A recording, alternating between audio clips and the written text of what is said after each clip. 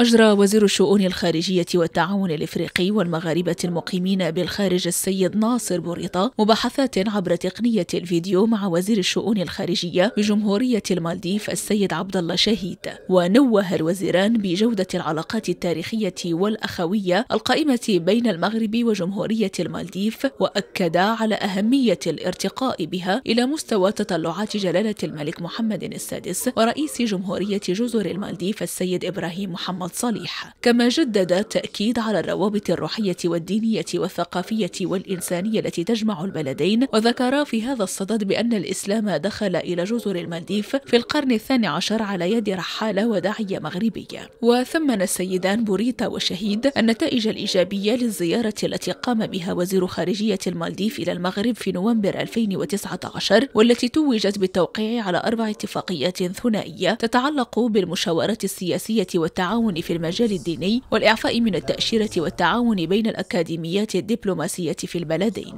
واتفق الجانبان على تطوير التعاون الثنائي في مرحلة ما بعد كوفيد وتوسيعه ليشمل مجالات أخرى بما في ذلك مكافحة الإرهاب والفلاحة والثروة السمكية والسياحة والصحة والثقافة والطاقات المتجددة.